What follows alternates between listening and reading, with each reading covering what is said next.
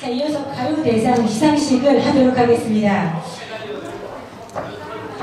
자, 우선 한 분 한 분 호명해 드릴 때마다 여러분 큰 박수 주신 거 잊지 않으셨죠? 네. 나이가 가라를 부르신 강태평님 사랑 그림을 그리신 우리 이혜령님 꼭큰 박수 주시기 바랍니다. 무대 위로 올라주시기 바랍니다. 네, 시상은 우리 코리아스타쇼 오성 회장님께서 해주시도록 하겠습니다. 오성 회장님. 네.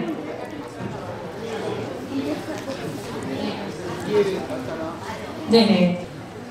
다음은 상장 가요대상 이혜령 이하 같습니다. 축하드립니다. 축하드립니다.